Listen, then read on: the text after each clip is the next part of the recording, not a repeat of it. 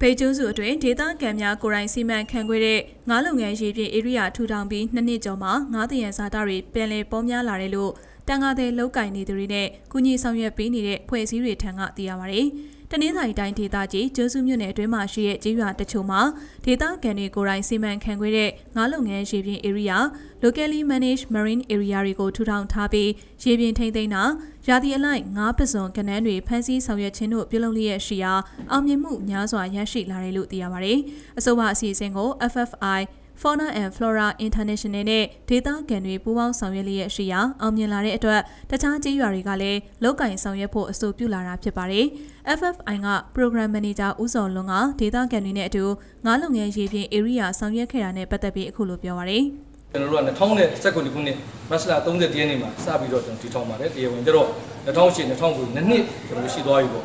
။ရှိသွားတဲ့အခါမှာကျွန်တော်ဒီမူလတုန်းကနဲ့အခုအချိန်မှာ ကျွန်တော်တို့ဒီဒေသမှာငါးကြံစားတာတွေပေါ်လာတယ်ဆိုပြီးဒေသခံတွေကိုယ်တိုင်ပြောတာအခုကျွန်တော်တို့အလုံးအခုကျွန်တော်ပြည်စုံပွဲမှာလဲသူတို့ကိုယ်တိုင်ဒါသူတို့အုပ်ချုပ်ရေးအဖွဲ့ကသူတို့ကိုယ်တိုင်ပြောတယ်သူတို့သိရစားပဲကျွန်တော်အဲ့ဒီနေရာမှာဒီချင်းသေးလုပ်ငန်းလုပ်တယ်ဆိုတော့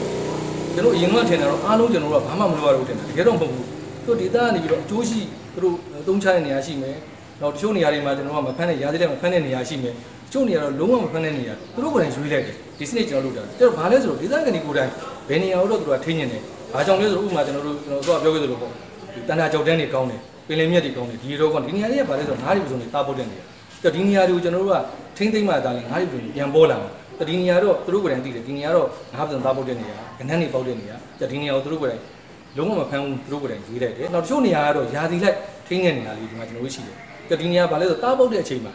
သူမဖမ်းတော့ဘူး တာပုတ်ယာတီကုံသွားရင်သူဖမ်းမယ်အဲ့တော့ဒီလိုလုပ်တဲ့အခါမှာဘာထူးခြားလဲဆိုတော့ကျွန်တော်တို့မနစ်ကစပြီးတော့ကျွန်တော်တို့ကိုယ်တိုင်ပိတ်တယ်ပိတ်တော့ပြန်ဖွင့်တော့ငါးတွေအများကြီးဖြစ်လာတယ်ပင်လယ်ပြင်ကိုမှီခိုပြီးအတံမွေးဝမ်းကြောင်းပြုနေရတဲ့ကျေးရွာတွေမှာနေထိုင်တဲ့သူတွေတရားဝင်နေထိုင်တဲ့သူတွေအနေနဲ့ကျေးရွာအရှိနဲ့အနီးအနားဝန်းကျင်မှာရှိတဲ့ရေပြင်တွေကိုဆက်ဆက်ဌာနတွေရဲ့ပံ့ပိုးမှုနဲ့အတူထိမ့်သိမ်းဆောက်ရှောက်တဲ့နေရာတွေကိုဒေသခံတွေကိုယ်တိုင်စီမံခန့်ခွဲတဲ့ငါးလုပ်ငန်းရေပြင်လို့ခေါ်ဆိုကြတာဖြစ်ပါတယ်။ဒုံပလဲအော်ရွာက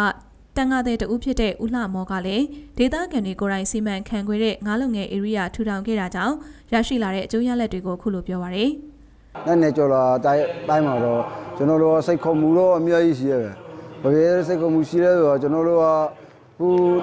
နဲ့နဲ့ကြော်ကြော်ကလောကျွန်တော်တို့ကတော့ကန်နီဒေတာခါငါဖမ်းလေးလေးကျွန်တော်တို့တော့လည်းသဘောပါအောင်လိုက်ချက်ပြရအောင်။ဆက်ပြဟိုနဲ့နဲ့ကြော်နေရခု အော်နဲ့နေကြောကလာပြီးဆိုတော့ကျွန်တော်တို့ခုပါဖေးလာဆိုအရေးယူအရေးယူစာယူမှုပိုင်ရလိုက်ပါနော်အရေးယူစာပြရတော့ဟိုမှာအရေးရဆော့တော့ကျွန်တော်တို့ဘောကူရဲတန်တော့ပေါ်လာအရေးရတော့အရေးတော့ကျွန်တော်တို့ကဝိုက်ရအော်ဝိုက်ရဟိုမတရားငါဖားစီမှုမြောက်တော့ကျွန်တော်တို့တန်ငါတွေပြုတ်ကြည့်တာတန်ငါပြုတ်ကြည့်တော့ခေါ်ကျွန်တော်တို့ဒါနဲ့အဲ့တော့နဲ့ဒါဆိုခေါ်မန်လာကြတဲ့နေကျွန်တော်တရားဝဲထိုက်သိလာဆိုတော့တန်ငါတွေကပဇော်တွေပြပေါ်လာငါတွေပြပေါ်လာ locally managed marine area LMA ကိုဘေကျူးစုအတွင်းမှာရှိတဲ့ဒုံပလဲအော်လင်းလွန်းပယောဝါနဲ့လက်ငန်းကျေးရွာတဝိုင်းမှာ4635ဧကထိန်းသိမ်းထားပြီးဒုံရွှေတန်းကျေးရွာမှာလည်းရေပြင်ထိန်းသိမ်းရေးလုပ်ငန်းတွေဆောင်ရွက်ဖို့အဆိုပြုထားတာဖြစ်ပါတယ်။အဆိုပါစနစ်အောင်မြင်တာကြောင့်ဒေသခံတန်ကားတွေအနေနဲ့ပူးပေါင်းဆောင်ရွက်ဖို့အဆိုပြုလာတဲ့တခြားကျေးရွာများစွာလည်းရှိနေသေးရာဒီရတော့အခြေပြုကျေးရွာတွေကို data ကောက်ယူပြီးကုညီဆောင်ရွက်ပေးဖို့စီစဉ်နေပြီဖြစ်တယ်လို့ FFI ကတာဝန်ရှိသူတို့ကပြောပါရယ်။